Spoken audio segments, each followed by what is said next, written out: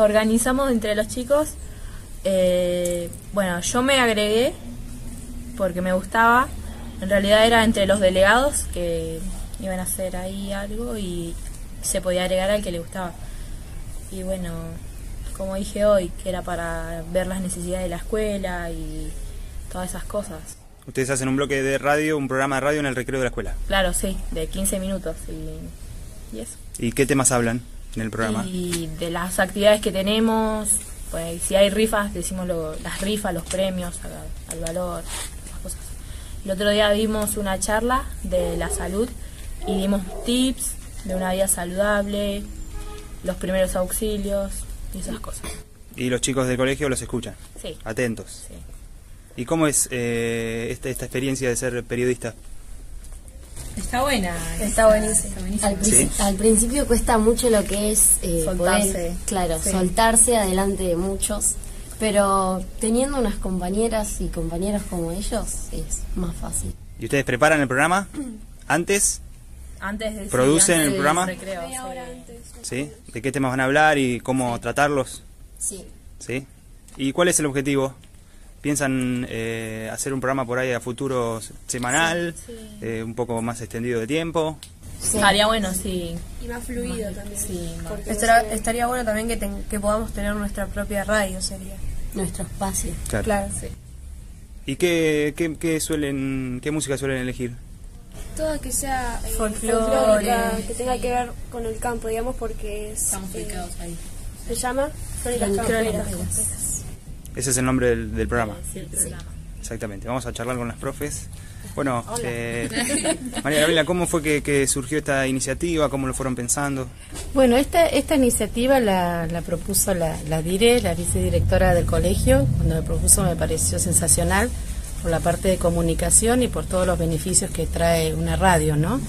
Así que, este, bueno, me encantó, eh, la, la adopté y la empezamos a llevar adelante. Hicimos un grupo en el WhatsApp, cosa que nos dé la, posibilidad de comunicarnos todos los días e ir sumando ideas. Entonces están los chicos que van sumando, aportando ideas, cómo crear las nuevas secciones, con los intereses de la generación de ellos, ¿no?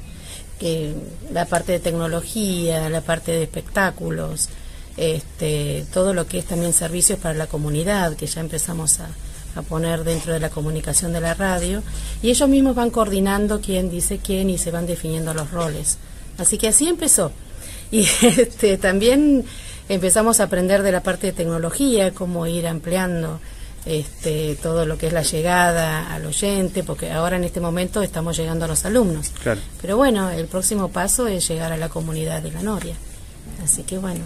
¿Y cómo sigue este proyecto, Silvia? Eh, bueno, siempre empiezan los proyectos a partir de las necesidades de los estudiantes, ¿sí? Como se formó el centro de estudiantes, estuvieron los eh, delegados y subdelegados, eh, dijimos tenemos que mm, eh, expandir esta, esta comunicación y vamos a hacer una radio. ¿Qué les parece? Bueno, sí, sí, empezaron a tirar ideas, armaron el logo, hicimos la radio del Corredor Sur de Cultura Viva Comunitaria y a partir de ahí eh, se formaron los programas. El primer programa era el de Crónicas Camperas, porque ellos tienen identidad rural y por, para transmitir también eh, eventos y ventas de caballos o eh, hay chicos que trabajan muy bien lo que es hoguería eh, y para que no se pierda eso, ¿no? Para que se siga eh, pasando de generación en generación. Y después, bueno, ellos empezaron, pusieron su cuota de juventud, eh, poniendo los temas que les gustan, a pesar que no lo crean, les gusta mucho el folclore, y como todos están estudiando folclore y dan talleres, entonces también eh, se tiraron para ese lado.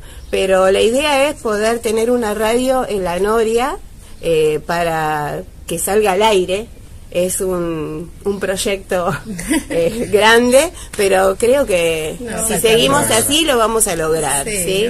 porque los chicos tienen mucho potencial, eh, la juventud de la Noria es lo más. ¿Y co- ¿Cómo la pasaron hoy en ACPOP? La verdad, muy buenísimo. ¿Sí? ¿Era lo, que, ¿Era lo que pensaban? ¿Cómo era una radio? ¿Sí?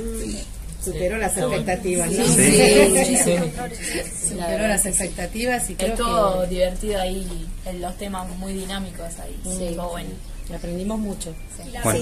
muy contentos. Sí. Fueron, fueron muy generosos en el conocimiento, la Sí, verdad que sí, sí. sí, Así sí. que agradecemos muchísimo. Nos, nos recibieron, la verdad que muy bien, y ya vamos a pensar proyectos para continuar. El próximo año vamos a tener talleres, acá ya se ofrecieron eh, los chicos, así que en la escuela va a funcionar, Si ¿eh? nos permiten, trabajemos juntos.